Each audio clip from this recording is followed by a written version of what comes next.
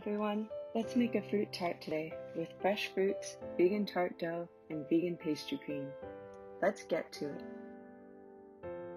For your tart dough, combine the powdered sugar, salt, and butter into a bowl. Use the paddle attachment and cream it on medium low until smooth. Add your water as necessary. Start with just one tablespoon because whether or not you need the second one depends on many things like the moisture and heat of your room, etc. Add in your flour, then mix until everything is just combined. You don't want to overmix this dough in order to keep it delicate. Check the dough about a minute in to see if you need more water. If the dough is pretty crumbly, add it. When your mixture comes together, check to see how it is. Should be nice and smooth with no lumps. Turn out the dough on a silicone mat or flour workspace. I prefer the mat because I can limit the addition of more flour to the dough, and it's easier to work with. Form your dough into a ball and flatten it out so it's easier to roll out later. Store your dough in an old bag like I am, or use reusable wrap, and put it in the fridge for 30 minutes. Take out your dough. You can see that mine's pretty firm.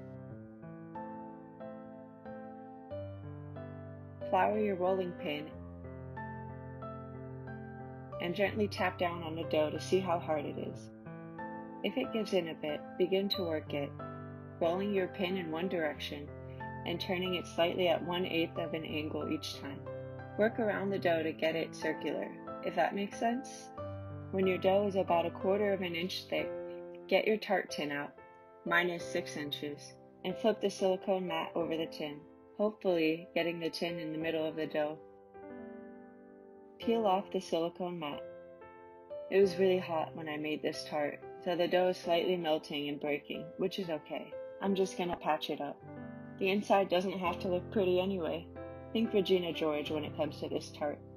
Sort of. I'm cutting the dough to kind of make a patch for the empty spaces. Make sure your dough goes a little above the top of the tin. Now that the dough is patched up, it's time to darken the dough. This means achieving that 90 degree angle between the edge of the tart and the bottom. It's like the light version of shoving the dough into the corners. Take your thumb and lightly press against the sides, near the bottom of the tart. To get clean edges around the tart, you can use your rolling pin and clean up the sides. You can also use a knife, holding it parallel to your counter and lightly grazing the top. Now you're going to dock your dough using a fork. I recommend doing as many as you can. It's okay if it goes through, it'll bake together anyway. I do the sides as well. Then let it chill in the fridge for another 30 minutes. Take it out of the fridge and prepare your baking weights. I'm just using some old dry chickpeas that I never use somehow and putting them in an old cilantro bag that needs to retire. The bottom of the bag won't melt, so don't worry. Bake your dough at 325 degrees Fahrenheit or 160 degrees Celsius for about 10 minutes with the baking weights. Then take out the weights and bake for another 10 minutes. Then turn off the oven and bake for another 5 to 7 minutes. This tart dough doesn't brown so much, so don't worry if you get a pale color like mine. Unmold your tart after a few minutes of chilling. And let's make that pastry cream.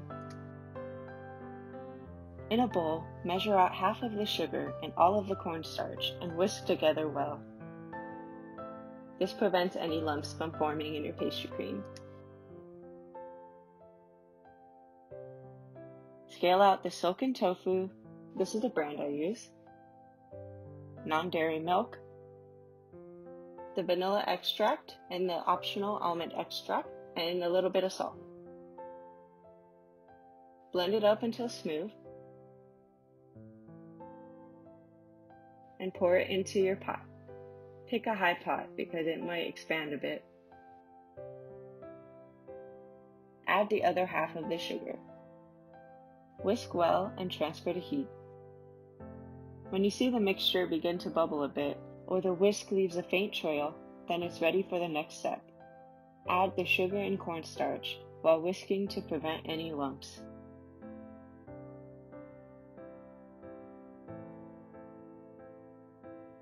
The pastry cream is ready when it becomes nice and thick. You will see your whisk marks clearly.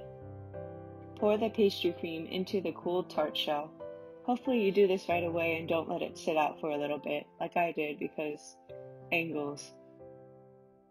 Wiggle it down to fill the tart, or smooth it out with a spatula. Next, prepare your fruits. I'm using oranges, strawberries, raspberries, and blueberries, but you can use whatever you have. I just try to use anything that's in my imperfect foods box or going off or whatever's in season. I encourage you to get really creative because I think this is the most fun part. Let's slow down a bit and finish the tart with a nice glaze. I'm using apricot glaze because that's a pretty traditional finish. You can heat it up a bit to loosen it and strain it so it becomes smooth. So easy and yummy. Voila! A lovely way to use up your fruits in the fridge and to impress your friends too. Thank you for watching.